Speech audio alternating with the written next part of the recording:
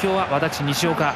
コメンテーターには見た目とは裏腹。時にはピリッと辛口コメントがさえ渡る。岡田武さんをお迎えしました。岡田さん今日もピリリとお願いします。私はそんな辛くないですよ。はいよろしくお願いします。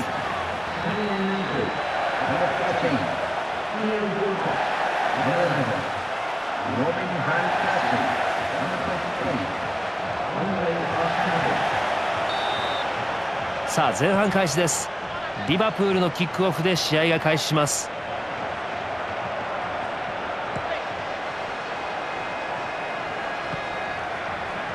ジェイミー・キャラガーハビエル・マッシェラーノこれはジェラード。チャンスの匂いのするパスです。ボールを蹴り出したい。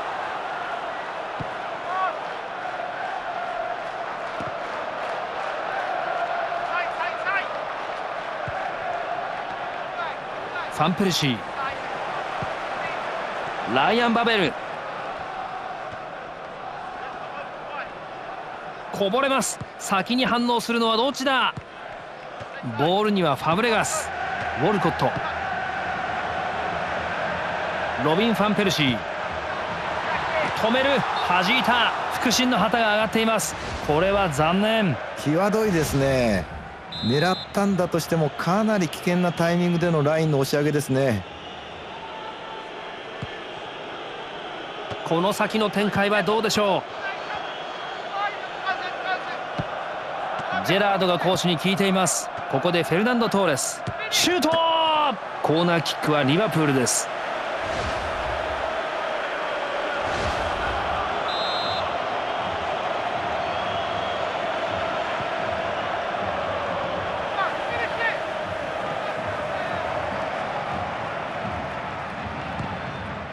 前がかりに仕掛けていきます。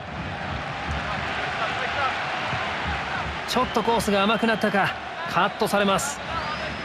マッシェラーノです。フェルナンド・トーレス。ゴール前に入ってきた。ゴールゴールゴール！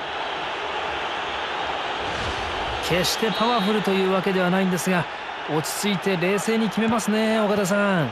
そうなんですよね。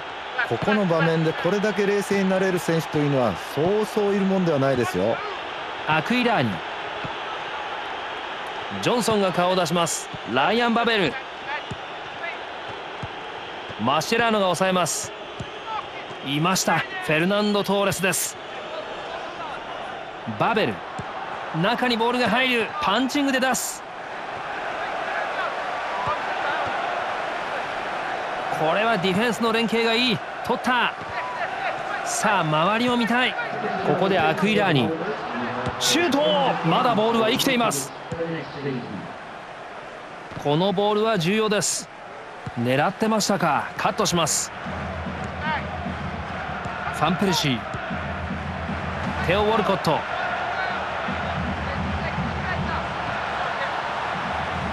このパスは通さない。ファンペルシー。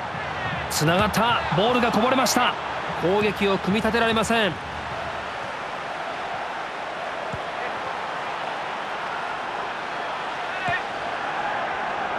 ガエル・クリシー。強い。体をうまく使います。ボールを取った。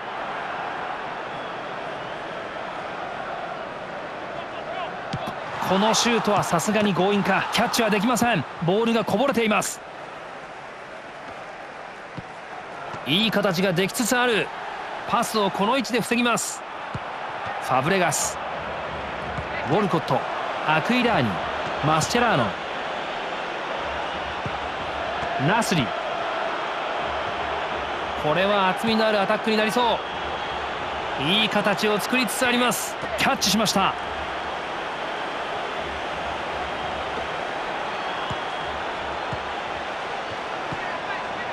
ペースを狙ってきた。ファンペルシーが行きます。予感のあるパスがつながった。これは止められます。さあゴールの方向を向きたい。ボールはまだ生きています。ボールの動きが激しい。つながります。ディアビこれはファンペルシー。ゴール！です。逆転といけるでしょうか？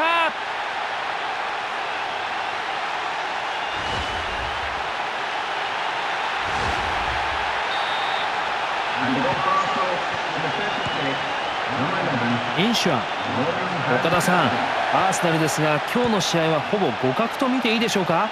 ねえどちらに転ぶか全く分かりませんね。それだけに魅力的な試合ですよ。ルーズボールになったフェルナンド・トーレス。審判はリバプールのフリーキックを指示します。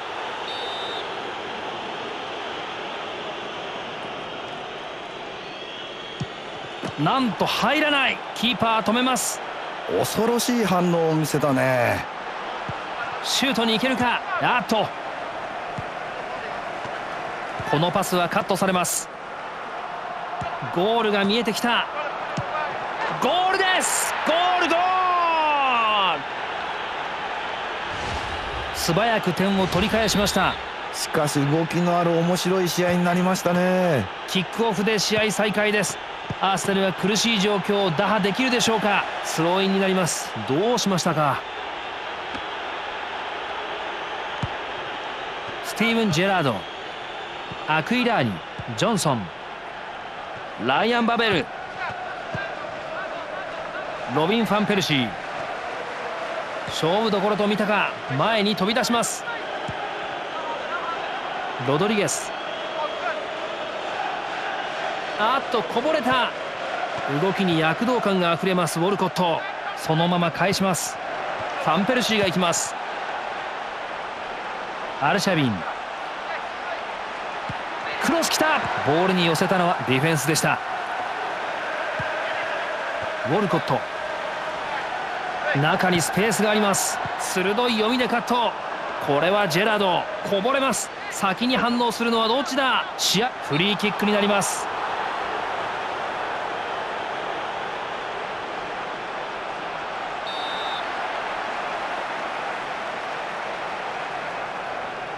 これディフェンダーが間に入った。バベル。パスコースにはディフェンスがいます。ゴールが見えてきた。キャラがスペースを潰しています。ここでフェルナンド・トーレス。激しく当たりに行きます。ガラスファブレガスです。サニャボールにはウォルコット。フィジカル勝負でレフリーの笛が鳴り前半終了のホイッスルが鳴り響きました。ハーフタイムとなりました。解説の岡田さん。前半戦はいかがでしたでしょうか？